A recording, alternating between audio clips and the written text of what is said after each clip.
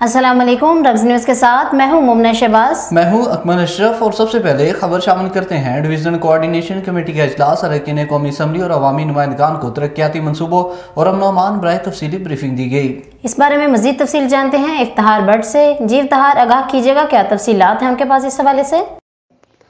जी बिल्कुल। Circuit house Gujranwala में मुनदा इजलास में सूबाई वज़ीर उकाफ Syed Saidul Hasan Shah commissioner Syed Gulzar Hussain Shah RPO Riaz Nazir Gara, CPO Sarfraz Falki MNA Chaudhry Shaukat Ali Patti, Saleem Sarwar जोड़ा अजला के डिप्टी कमिश्नर डीपीओज और मुख्तलिफ़ तरक्याती महकमों के अफसरान ने शिरकत की। डायरेक्टर डेवलपमेंट चौधरी असकर ने ब्रीफिंग देते हुए बताया कि नए तरक्याती प्रोग्राम में डिवीज़न के लिए अठतीस अरब के नए मेगा मनसूबे तजवीज़ किए गए हैं। जिनमें से गुजरावाला के लिए 10 अरब, सियालकोट के लिए सात शरिया पचहत्तर अरब, गुजरात और मंडी बहावलदीन के लिए बिल तरतीब पाँच शरिया पचास अरब और पाँच शरिया उनासी अरब। हाफसाबाद के लिए पाँच शरिया आठ अरब और नारोवाल के लिए तीन शरिया पाँच अरब के मेगा मनसूबे बनाए गए हैं। उन्होंने बताया कि नए तरक्याती प्रोग्राम के तहत गुजरावाला डिवीज़न में चौदह अरब से जायद लागत के दीगर नए मनसूबे भी तरक्याती प्रोफ़ाइल का हिस्सा होंगे। जी। बहुत शुक्रिया इफ्तार भट्ट हमें तफसीत से अपडेट करने का। वफाकी पार्लिमानी सेक्रेटरी वजारत मौसमी तब्दीली रुखसाना नवीद का गुजावाला का दौरा डिप्टी कमिश्नर सोहेल अशरफ गुजावाला में मुकम्मल किए गए और जारी माहौलियाती तहफ़ के मनसूबों से आगाह किया। इस हवाले से मजीद बात करेंगे अपने नुमाइंदे इफ्तार भट्ट से। जी इफ्तार बताइएगा क्या तफसीत हैं आपके पास इस हवाले से?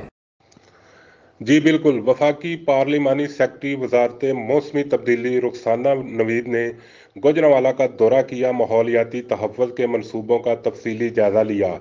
इस मौका पर मीडिया से गुफ्तु करते हुए रुखसाना नवीद ने कहा कि मौसमी तब्दीलियों की वजह से इस वक्त पूरी दुनिया को संगीन मसाइल का सामना है और पाकिस्तान में भी मौसमी तब्दीली के मुजर असरा से ज़िंदगी के मुख्तलिफ़ शोबे मुतासर हो रहे हैं।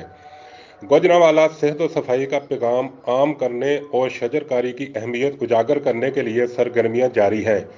वज़ीर अजम पाकिस्तान के क्लीन एंड ग्रीन प्रोग्राम के तहत मौसम बहार की शजरकारी मुहिम के दौरान बड़ी तादाद में पौधे लगाए जाएँगे।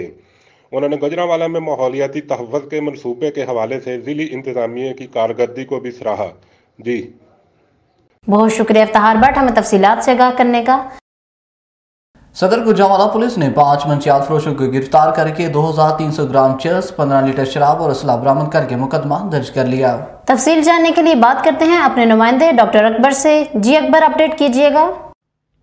जी बिल्कुल। एस एच फरत नवाज़ चट्टा ने दौरान नाकाबंदी पीरूचा के करीब से मुलजम शहबाज को हिरासत में लेकर इसके कब्जा से पंद्रह लीटर शराब गगर के करीब से मुलजम दिनेश मसीह के कब्जा से पिस्टल तीस बोरमा गोलियाँ फ्लाशर को मोहम्मद उमर के कब्जा से चर्स 1200 ग्राम से जायद और रकम तेईस सौ रुपये जबकि नहर पट्टी जंडियाला बाग वाला के करीब से मुलजम अक्रम अली को हिरासत में लेकर, इसके कब्जा से हज़ार ग्राम से जायद चर्स और चार हज़ार रुपये रकम बरामद किए। जी।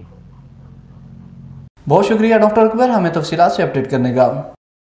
गैपको ने नए कनेक्शन की दरखास्तों को ऑनलाइन कर दिया। चीफ एग्जीक्यूटिव जाम अयूब ने तमाम सब डिवीजनों को ऑनलाइन दरखास्तों की वसूली के लिए अहकाम जारी कर दिए। इस सिलसिले में मजीद बात करेंगे अपने नुमाइंदे फखरे नवीद से। जी फ़खर बताइएगा इस हवाले से क्या तफसीत हैं आपके पास?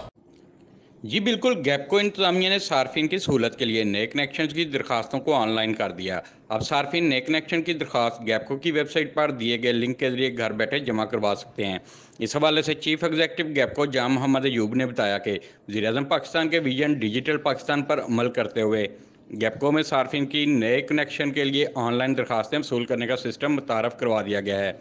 जिसके लिए गैपको आई एस डायरेक्टरेट ने खसूसी सॉफ्टवेयर और ऐप की तैयारी का काम मुकम्मल कर लिया है। जबकि इस हवाले से ऑपरेशन स्टाफ को भी खसूसी ट्रेनिंग दी गई है। जी। बहुत शुक्रिया फ़खर नवीद हमें तफसीत से आगाह करने का। खबर शामिल करते हैं शोरकोट से जहाँ पर रूही से बड़े ट्रालर को आग लग गई। मजीद जानते हैं अपने नुमाइंदे मोहम्मद तनवीर से। जी तनवीर तफसीत से आगाह कीजिएगा।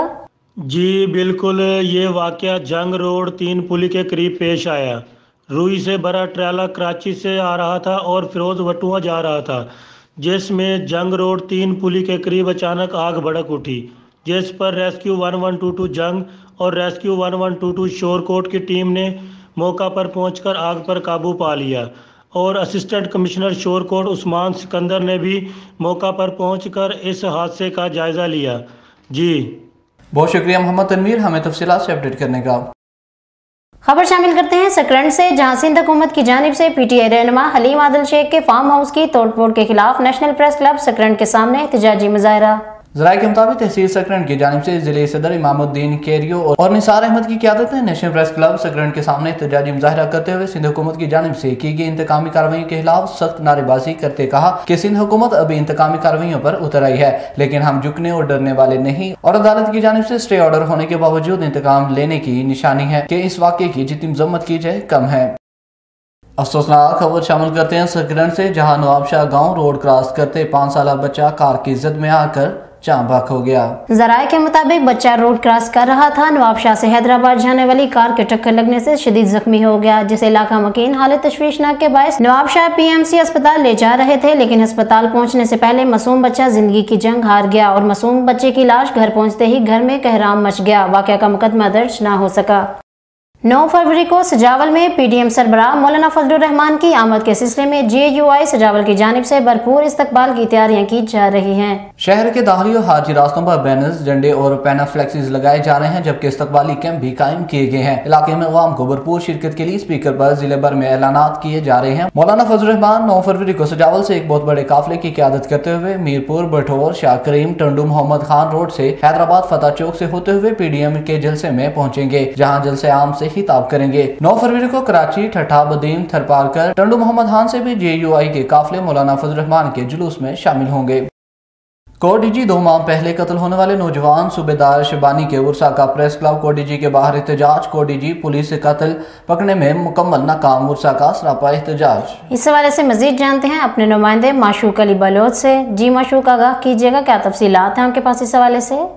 जी, बिल्कुल मैं आपको बताता हूँ, कोर्ट जी दो माह पहले बेदर्दी से कत्ल होने वाले नौजवान सोबदार शंबानी के वर्षा का प्रेस क्लब कोर्ट जी के बाहर एहतजाजी मुजाहरा।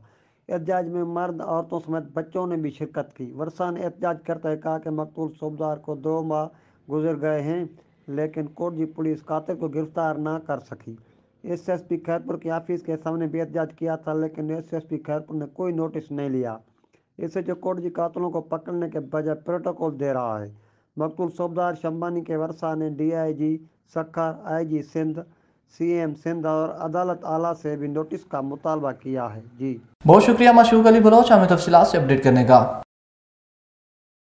यहाँ पर वक्त हुआ है कमर्शियल ब्रेक का, हमारे साथ रहेगा